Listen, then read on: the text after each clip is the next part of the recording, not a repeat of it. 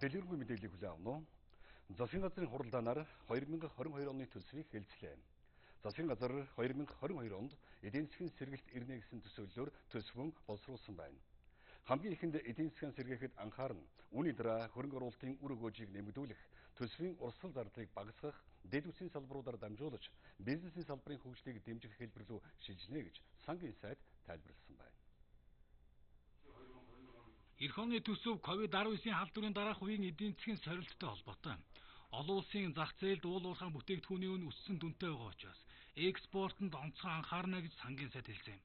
Судлаачдын тайлбарлаж байгаагаар уул уурхайн бүтээгдэхүүний үнийн өсөлтийг засгийн газар ашиглах нь хамгийн зөв хувилбараа гэж өмнө мэдгдээд байсан юм. За энэ жил эрүүл мэндийн салбарт үр дүн чанар гүйцэтгэл суурилсан санхүүжилт рүү шилжсэн. Ирэх онд боловсрол, соёл урлаг, нийгмийн халамжийн салбарт дээрхчшгээр явхаар болсон гэдэг тайлбарыг сангийн сайд өгсөн юм а.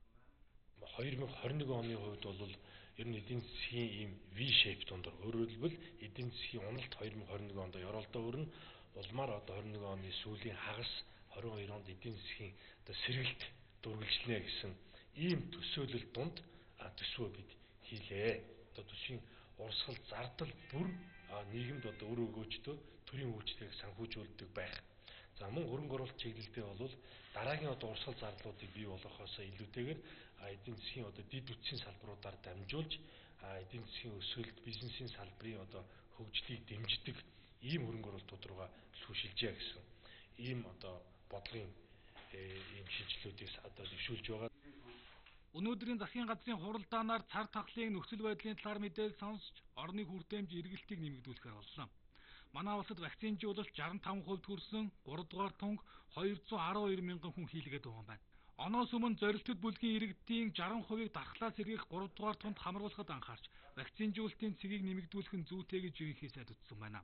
Мөн төрийн байгууллагууд олон нийтийг хамарсан арга хэмжээ, хурал цуглаан чуулганыг зохион байгуулахыг хязгаарлахаар боллоо. За өнөөдрийн засгийн газрын хурал дээр бас ерөнхий сайд бүүстер тунгийн асуудлыг нэлээд эрчимжүүлэх чиглэл өгсөн байгаа.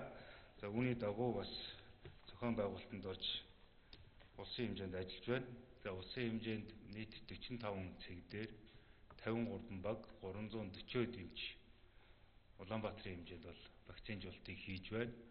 За орон нутагт бол 21 аймаг 84 өрх сумын эмнэлгүүдээр бол энэ вакцинжуулалтыг бол хийж байна.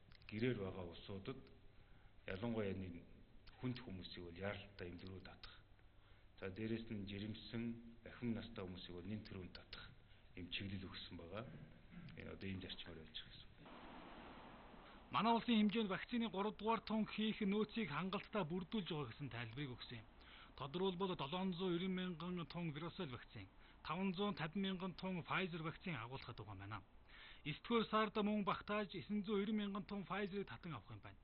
Мөн энэ улиралд багтааж дахин 1 сая 200 мянган тонн Pfizer вакциныг татан авахар төлөвлөсөн байна.